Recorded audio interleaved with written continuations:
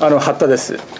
今まであの自己紹介をするときには、えー、刑事被告人ですと言ってですねつかみは OK だったんですけどももう刑事裁判が終わっちゃったので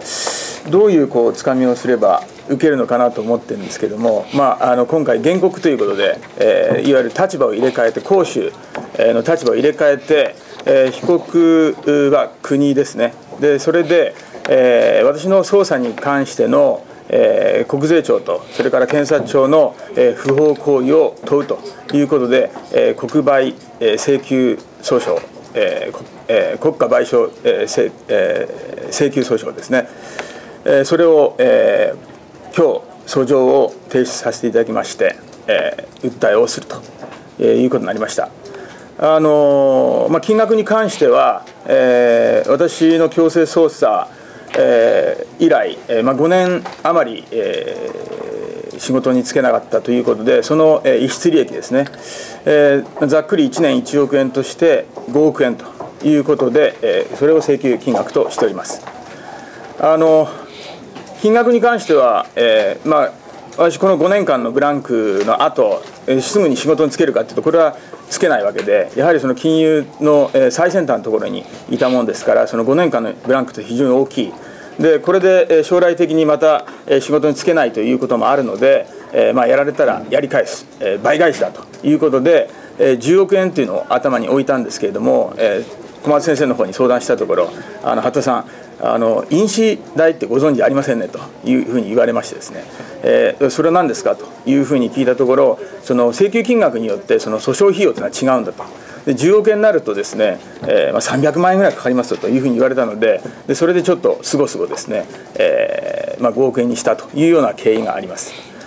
であの私がその、えー、この国売審を、えー、戦うというえー、気持ちになったのはですねこれはあの非常にそのハードルが高いということは、えー、知ってはいるんですけれどももしそれでですね諦めて、えー、この、えー、請求をしなければ、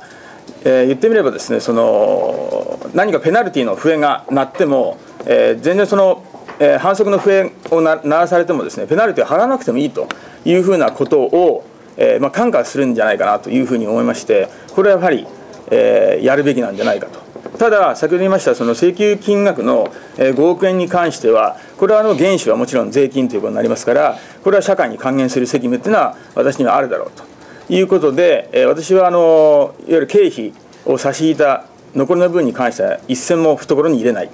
でこの金額をもってですね、えーまあ、基金を作って、刑事司法改革の何かあの、えー、まあアクティビティをやりたいなというふうには思ってます。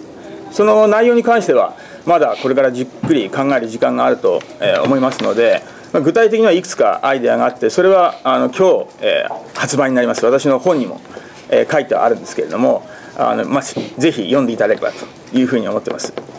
で先ほど言いましたようにその、えー、国売審というのは非常にそのハードルが高くてですね、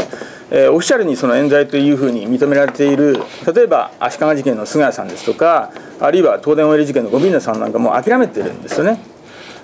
あの非常にその時間もかかるしということを、えー、労力もかかるお金もかかるということで諦めているんですけども先ほど言いましたように私はあのそう彼らのその考え方というのももちろんそのリスペクトしますけれども私の、えー、やり方としてはやはりその見逃し見逃せないと、まあ、結局その、えー、刑事裁判を戦ったのと同じような気持ちですね。やはりその、えー、国家権力が、まあ、勝手にやってるっていうのはちょっと、えー、まあけしからんというような気持ちはあります。でそれでその非常に高いハードルを乗り越えるのには